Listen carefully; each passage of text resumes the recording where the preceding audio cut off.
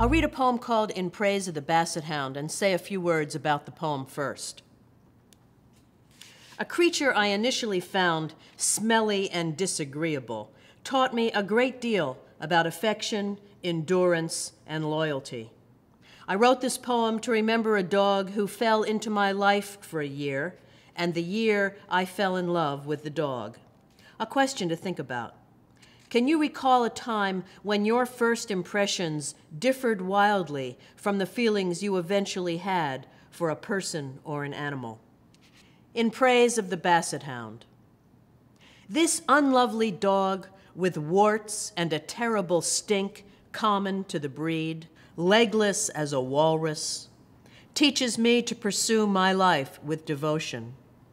Steadfast enthusiast of fisher cat and vole, she relies now almost entirely on scent and sings her hound's song of pleasure when we come close enough for her to hear her name.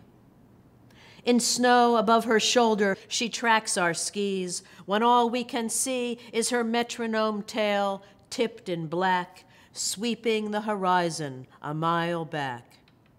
We keep her incontinent in an old shed behind the farmhouse, a wire fence around her run. Warm days, nose in the air, she sits like an old retiree in the sun, listening to warblers build their spring nests. Her warts ooze, her eyes rain green phlegm.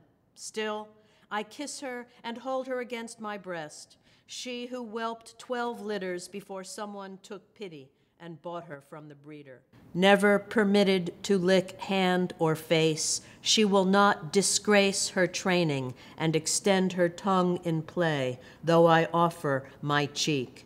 Daily she shows me the meaning of character, loping painfully on swollen paws. I apply salve to her scaly folds, I croon over her.